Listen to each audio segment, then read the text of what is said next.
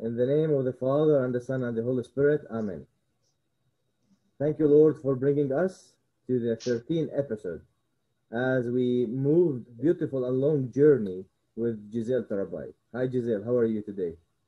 Fine, Abouna. I'm glad to be with you. Me too. Me too. Always I see the light of the Lord in you. May the Lord uses you always for His glory. So welcome back, everyone. Uh, we're so happy that always you're uh, watching our episodes. We uh, are encouraging you to share it so that others glorify the Lord and know more what they're going through in these days. Gisele, my beloved, uh, we have important question today. A lot are asking it. Is yoga just a sport and a chance to be alone with uh, oneself?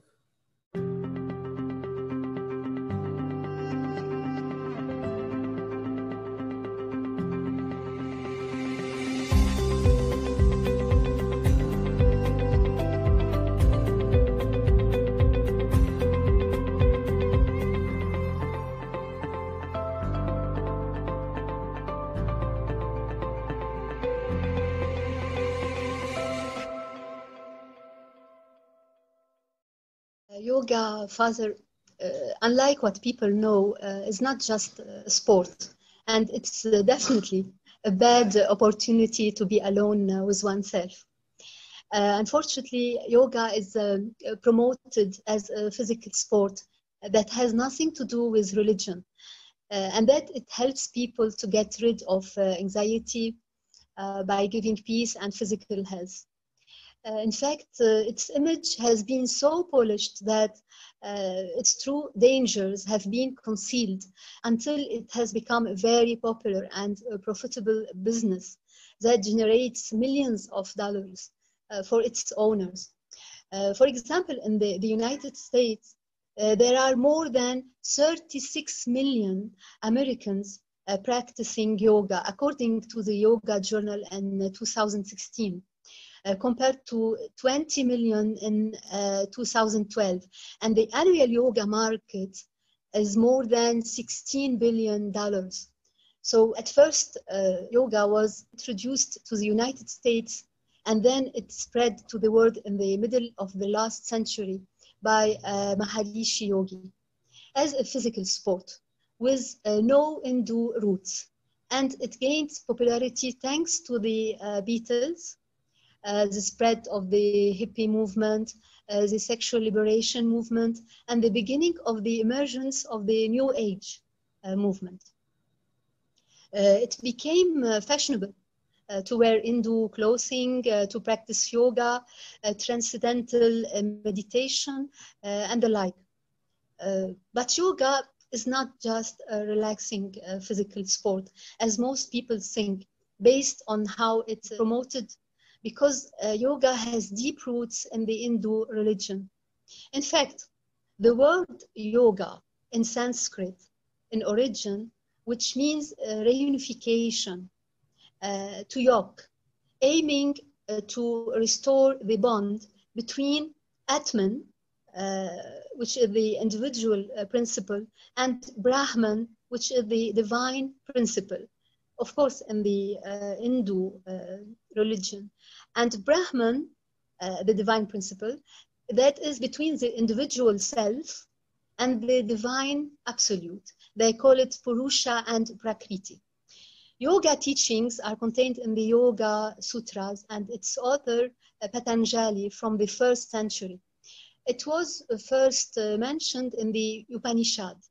Uh, the Upanishad is uh, the sacred Hindu books and its meaning, uh, the meaning of yoga was not uh, like uh, it is today. Rather, it was a discipline in martial arts. Yoga has seven stages from Hatha Yoga to Raja Yoga. Each movement in it has its own meaning for the glorification of pagan deities. It may be associated with the repetition of the mantra which is the name of Hindu uh, deity. Oh, even uh, the Hatha Yoga, like what about it? Is it okay to practice it?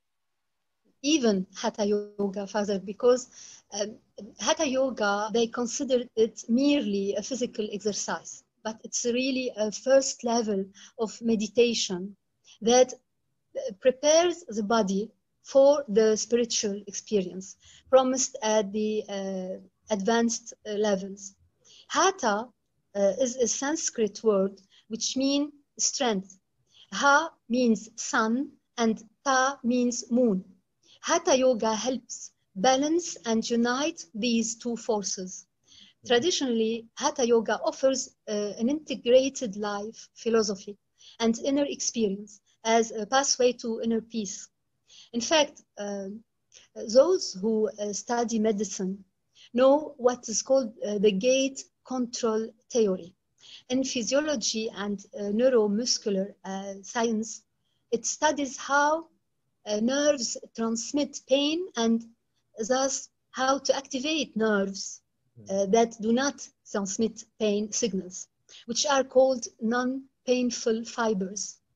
Satan knows these gates very well and uses them to snake through to us.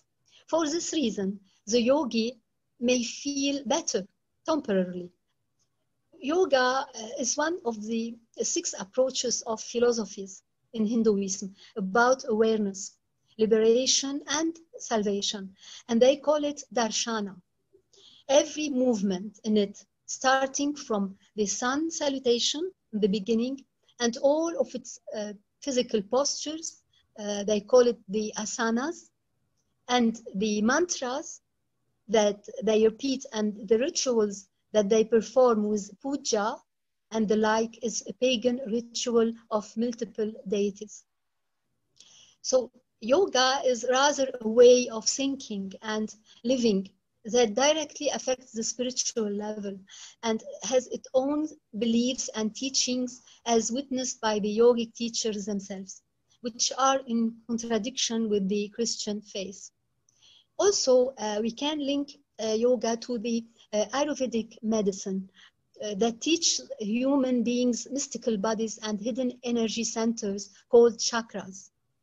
Uh, there are seven chakra in addition to nadi channels through which energy infiltrates into the aura uh, of the head chakra uh, and it's activated to unite with cosmic energy called ki or uh, chi or uh, prana in order to restore the lost energy balance according to their claim.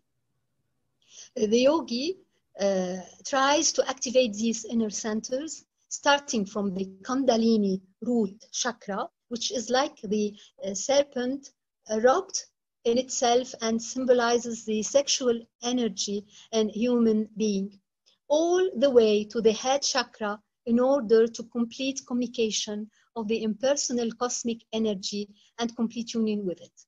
Noting here that there is no scientific evidence confirming the existence of these esoteric centers, nor energy channels and uh, the like what is actually happening is that the demonic spirits infiltrate a person in the absence of personal awareness and disable all faculties uh, of the soul. All the supernatural phenomena, which they call siddhis, such as um, uh, flying in the air, uh, walking in the fire, uh, being in the two places in the same time, etc., all these are satanic manifestation as a result of the intervention of demonic spirits, not from nature nor from God. In this practice, the yogi is making a personal effort in order to ascend and unite himself with the deity to reach the level of samadhi or nirvana, as they call it. In fact, uh, the samadhi and the nirvana uh, are a state of unconsciousness or, or a state of emptiness and nothingness. And this is the opposite of what is in Christian meditation. Uh, in Christian meditation, uh, God's uh, grace is descending to man, and it is not man who ascend to it. The Spirit blows wherever it pleases, and it is given to the poor, in spirit and on the pure in heart. Uh, and it does not come as a result of any human uh, effort or some methods. Uh, on the other hand, there is no doubt that yoga uh, is one of the practices in which we believe that we enjoy loneliness, silence, and peace with ourselves. But in reality, uh, we are not present in it, but rather absent and deprived of will, because in it all the faculties and powers of the soul are broken down and the senses are absent. Uh, it is really uh, a practice uh, against nature because we were created in order for our vital forces to be active and uh, interacting with ourselves and others and uh, with what is uh, transcendent, which means uh, God.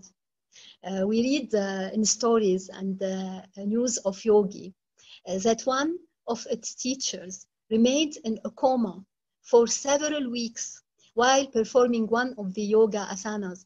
And had it not been for his student who used to pour some water and fluids into his mouth every day, he would have died. And when he returned to consciousness, uh, he needed treatment in the hospital to recover fully after suffering from serious health problems as a result of his coma. So, in the end, uh, I would like uh, to warn here. Uh, it becomes clear uh, to us, Father, day after day, that there is a programmed plan to spread yoga technique and include them in the official educational curriculum. This has already started to happen in Europe and the United States, uh, in many countries. Uh, it started to happen in some schools, institutes, and nurseries as well in some hospitals and even in some churches under the forms of secularized meditation among the technique of psychology such as mindfulness, MindUP for children, centering prayer, and uh, the like. It's beautiful information, but at the same time it's dangerous if we didn't be aware from it. A lot of details Gisele gave us today and we need to be aware of it. Parents, when you watch us, continue till the end and put the fear of the Lord in front of your eyes because you are responsible on the life of your children. You, ju- you not just get them to school or get them to any place and leave them there. We need to be responsible to go after them and ask what they are taking. Also, as you see, Gisele mentioned, a lot of levels, a lot of uh, yoga's kinds maybe sometimes they are doing it uh, like a sport just to practice it. For that, uh, let us uh, always be aware from this, and may the Lord be with you and bless you. In the name of Father, Son, Holy Spirit, Amen.